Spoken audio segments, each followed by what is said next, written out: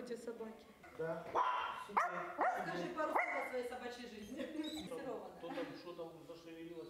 Es sind jetzt zwei Familien, die bei uns wohnen und ähm, uns ist aufgefallen, dass es so schwierig ist für Menschen, die mit ihren Haustieren kommen, um da eine, Unter eine Bleibe oder eine Unterkunft zu finden. Ich habe selbst gesehen, wie das aussieht, wenn die da stehen und werden nicht zugelassen. Und dann haben wir, vor allen Dingen auch meine Töchter, gesagt, mach das.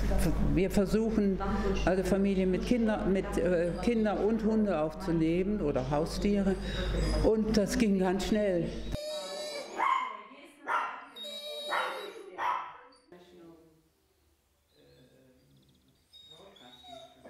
Было очень тяжело, так как э, в вагонах было очень много людей, детей. А, Если это нужно было 4 человека посадить в вагон по правилам, то там ехало 14 человек. И плюс наши животные. Они были трое суток э, закрыты в боксе, он иногда их выпускал. Для животных это была очень сложная дорога, но все же они смогли ее пройти.